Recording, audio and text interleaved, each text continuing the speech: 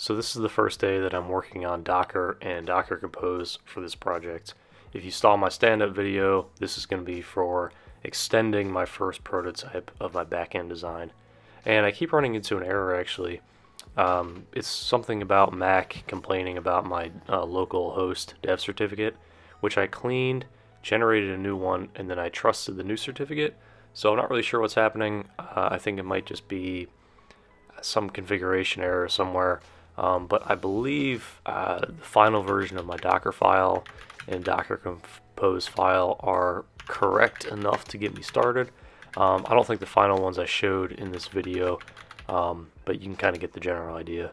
So yeah, I'm running into an issue on my Mac, um, but I will make probably another video hopefully resolving the issue and we can continue to work on this project.